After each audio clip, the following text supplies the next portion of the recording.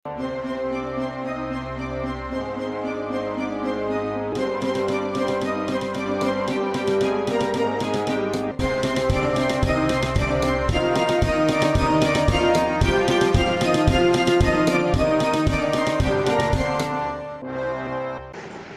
Government girls elementary school دوبارہ زندہ ہو گیا۔ متعلقہ انتظامیہ نے اسی بلڈنگ کو ناقص قرار دے دیا تھا، مگر اب اسی بلڈنگ کو استعمال کر کے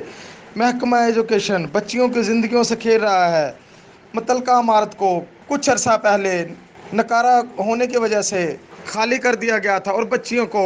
ہائر سیکنڈری اسکول میں شفٹ کر دیا گیا تھا۔ مگر چند ماہ بعد ہی اہل علاقہ کی طرف سے اسکول کی عمارت پر قبضہ کیے جانے کے خدشہ سے متعلقہ پرنسپل نے فوراً کلاسز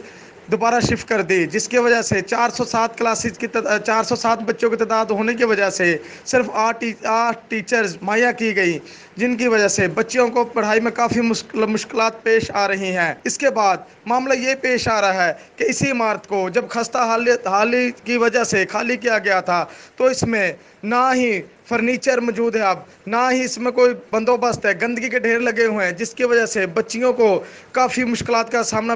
پیش آ رہا ہے۔ بچیوں کے والدین کا کہنا ہے کہ ہماری بچی بیماری کے شکار ہو رہی ہیں۔ کیوں نہ کہ بچیوں کا کہنا ہے کہ جب ہم جب ہم تعلیم حاصل کرنے کے لیے جاتی ہیں، اسکول حاضہ میں گندگی اور کھڑے پانی کی وجہ سے مختلف قسم کی بو آتی ہے، جس کی وجہ سے ہمیں حبش بے جا کا سامنا کرنا پڑ رہا ہے اور ہمیں تعلیم حاصل کرنے میں کافی دشواری پیش آ رہی ہے۔ اور عجیب بات یہ کہ ساتھ کے ہمسائے نے اپنے گھر کا پائپ، اپنے کچن کا پائپ اسکول کی لیٹرین میں ڈالا ہوا ہے، جو کہ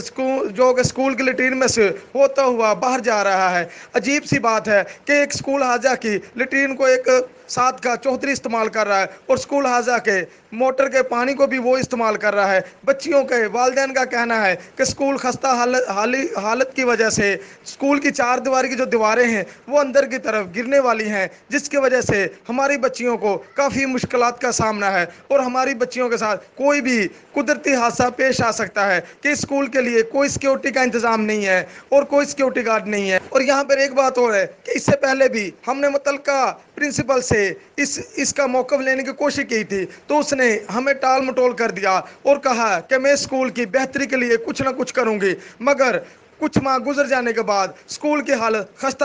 خستہ در خستہ ہو رہی ہے اور اسکول کے اندر بچیوں کو بیٹھنے کے لیے نہ ہی کوئی فرنیچر ہے۔ ہاں البتہ بچیوں کو نیچے زمین پر بٹھایا جا رہا ہے، جس کی وجہ سے بچیاں کافی پریشان ہیں اور ان کو مختلف قسم کی بیماریاں میں مبتلا ہو رہی ہیں۔ والدین کا کہنا ہے کہ ہماری اعلیٰ حکام سے اپیل ہے کہ وہ جلد از جلد اسکول حاضہ کا نوٹس لے اور اور اس پر اس کی کاروائی کی جائے۔ ندیم اختش رازی سیالکوٹ نیوز سترہ۔